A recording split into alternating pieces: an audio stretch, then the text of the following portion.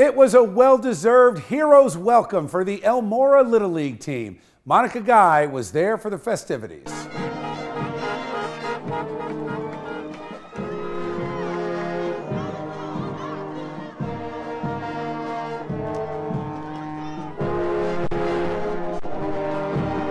A parade of champions for the Elmora Troopers who represented the Mid Atlantic region in the 2019 Little League World Series.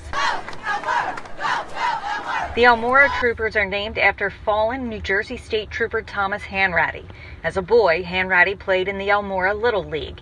The team also wears his badge number. We're representing 4971. We're representing uh, fallen troopers, and to me, it's just a sign that they're watching. It feels great representing 4971.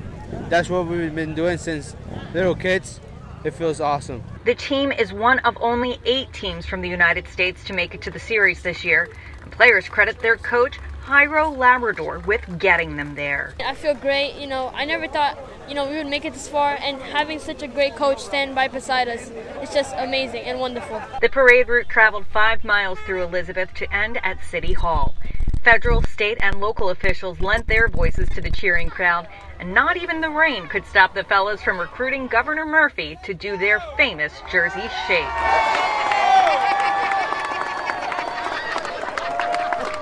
They even gave me my own personal lesson. Okay, I guess I'm locked into this one. Here we go. Don't laugh. Hands in the air. Okay, maybe you can laugh a little bit.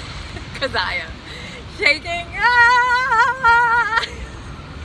Maybe it's not the best Jersey shake that's ever been shaken, but it's what we can do here out in the field. Reporting for Chasing News, I'm Monica Guy.